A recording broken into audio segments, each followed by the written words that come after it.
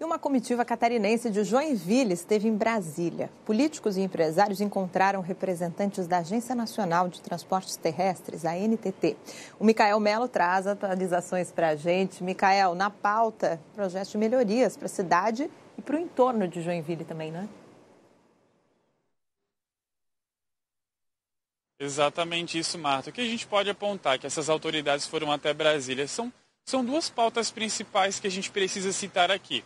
Uma dessas pautas é, é que envolve tanto a partir ali, a, o trecho da BR-101, de Barra Velha até Garuva, porque essas autoridades elas estão pedindo a construção de algumas vias ali marginais para melhorar esse trânsito em todo esse trecho que passa pela região norte de Santa Catarina. Além desse ponto das marginais, tem uma outra questão bem importante também, que são os elevados na região da BR-101 em Joinville principalmente ali na 15 de novembro, para quem conhece Joinville, como também da Autocardef. Então, nesses dois pontos, principalmente, precisa, é necessário no momento algumas obras. Então, essas autoridades estão solicitaram, né, nesse caso aqui, também algumas obras nesses locais. Agora, depois de apresentadas essas pautas, o que a gente pode esperar, pelo menos para o próximo mês, agora em dezembro, é que a concessionária que administra a rodovia, ela vai apresentar algumas melhorias. Na verdade, assim, projetos de melhorias, o que a gente pode dizer aqui, né?